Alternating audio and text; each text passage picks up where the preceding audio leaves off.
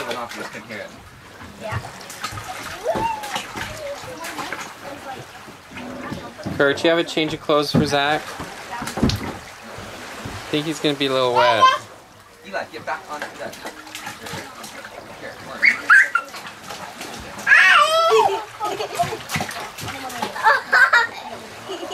Here,